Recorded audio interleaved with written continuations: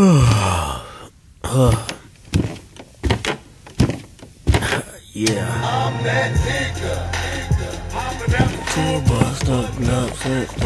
What the fuck, man? What the fuck are you doing, dude?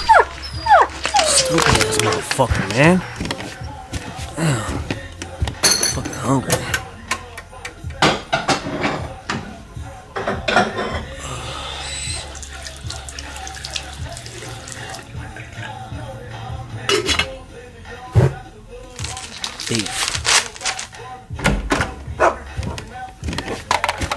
Oh, what up, dude? That fucking party last night was fucking crazy, man. Bitches everywhere. Yeah, you were pretty fucked up last night, man. Oh, man, I think I might have fucked that midget last night, man. You crazy, man. Yeah, she was here for a little bit, huh? Yeah, just the right height. Oh, man, what are you cooking up over there?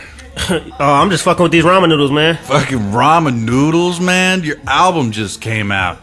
Shouldn't you be eating like prime rib with twice baked potato? yeah, probably, but shit. You know me, man. I keep it hood. I ain't never had no better.